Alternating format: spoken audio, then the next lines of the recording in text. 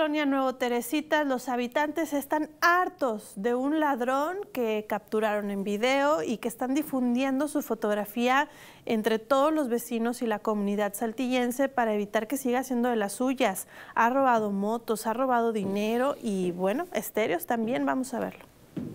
Vecinos de la colonia Nuevo Teresitas están enojados y asustados porque un sujeto ha robado en varias ocasiones durante los últimos días, por lo que empezaron a difundir videos de cómo ha robado para dar con él. Entre lo que se ha llevado está una motocicleta que sacó de un domicilio, el estéreo y dinero de un automóvil estacionado, una mochila y ropa de otra casa y más pertenencias que a plena luz del día. Pero esos son solamente algunos de los hurtos, pues ha operado en la calle Cañón de Carbonera, Mesa de las Tablas, Cañón del Tunal, Calle Nopal y prácticamente en todo Nuevo Teresitas. En uno de los videos hechos llegar a esta casa editorial se aprecia como sin preocupación entró a un negocio y salió segundos después con una mochila. En otro se ve con qué facilidad abre un vehículo tipo Zuru que está estacionado pasándose al asiento del copiloto para vaciar bien la guantera y llevarse el estéreo. Las víctimas de este ladrón ya interpusieron una denuncia ante la Fiscalía General del Estado por lo que esperan que en los próximos días pueda ser detenido.